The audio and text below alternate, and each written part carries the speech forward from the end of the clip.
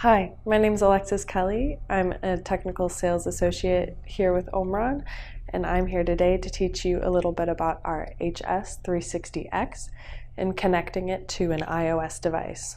Today we're going to be using an iPhone, but you could also use a tablet if you want. What you're going to need here is the manual off of our website if you don't already have it. It is under the product page. You type in HS360X go to the product page, and under downloads, there will be manual. You click on that one. The two pages that are really relevant for right here are page 54 of 478 on the PDF and 66.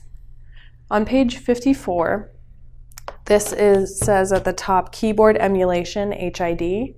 This is going to make your device discoverable on the iPhone. So when you go to the Bluetooth you go to your settings, you go to general and Bluetooth, and it should pop up with some crazy looking number. Mine was DS36, etc., etc.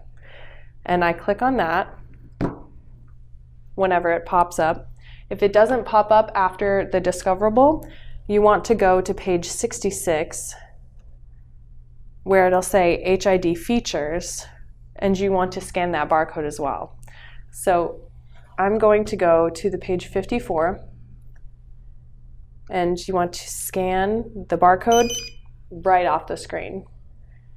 Then you want to go to page 66. I have these up in two different tabs just for time.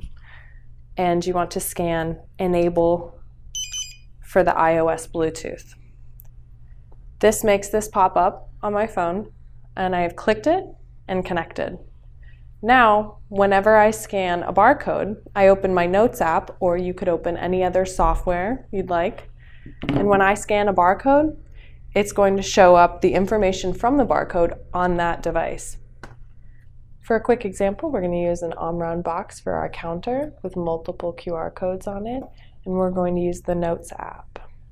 So all you have to do is point at the tiny QR code and when it scans the information, it is populating the Notes app with that information on the QR code.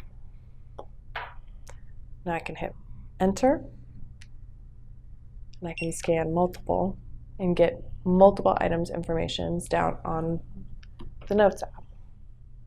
And just like this feature, you can find tons of other features for the HS360X on the manual, and you can find the manual on our website. That's it for this demo. Thanks for watching. And if you have any other questions, please reach out or go to our website at automation.omron.com.